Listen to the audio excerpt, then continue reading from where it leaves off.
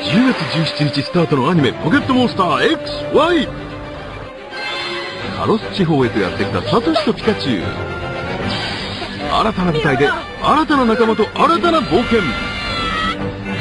そして新たなポケモンたちとの出会い。さらに。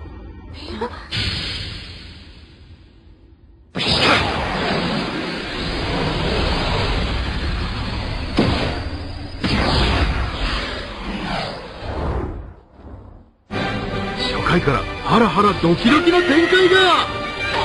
アニメ「ポケットモンスター XY」10月17日スタート。